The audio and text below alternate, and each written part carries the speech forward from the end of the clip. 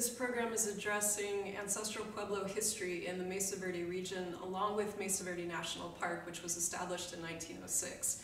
And in particular, what's amazing about this program is that we're combining a scientific perspective along with native scholar perspectives so that we can embrace a more complete understanding of Pueblo history in the past.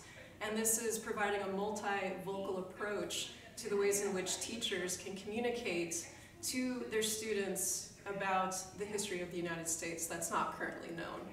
At our program, you'll not only understand the culture history of the Mesa Verde region and Native American history much better by the time you go home, but what you're going to also understand is an experiential way of learning about the past through excavation, lab work, and experiencing Mesa Verde National Park uh, up close and personal.